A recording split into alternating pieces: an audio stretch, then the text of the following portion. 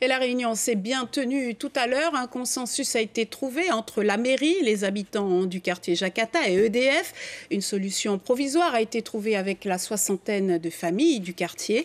La zone devrait être électrifiée, mais une mise en conformité des logements devrait être effectuée. On écoute Sophie Charles, maire de Saint-Laurent, et Michael Papayo, son premier adjoint au micro euh, de Gaël Ouassim les maisons n'étaient pas aux, normes électriques. Donc euh, à partir du moment où les maisons n'ont pas la, conformité électrique, EDF euh, e ne, peut pas faire les branchements euh, électriques pour eux. Aujourd'hui, il est important qu'on puisse mettre les choses aux normes.